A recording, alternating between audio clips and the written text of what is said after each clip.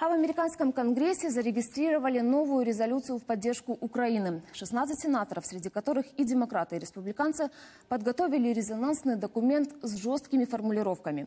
Они осуждают российскую агрессию, призывают оставить в силе санкции против Москвы до выполнения Минских соглашений и заявляют, что Соединенные Штаты ни при каких условиях не признают аннексию Крыма.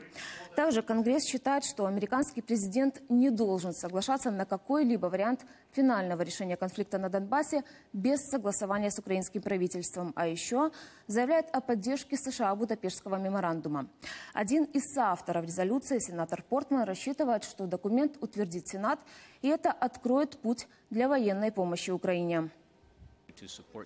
Мы должны продолжать поддерживать Украину в этом направлении и, конечно же, предоставлять стране оружие, в котором она нуждается, чтобы защитить себя.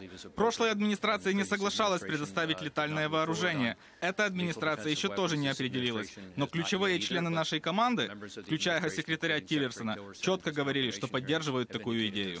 Так что мы просто обязаны поддерживать тех в Украине, кто строит открытое прозападное общество, то, за что стоял Майдан.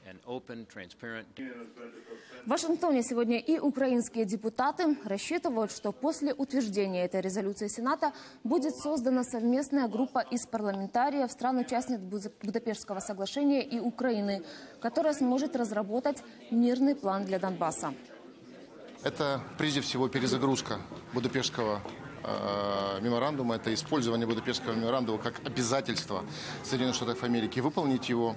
Это перезагрузка э, отношений между США и Украиной.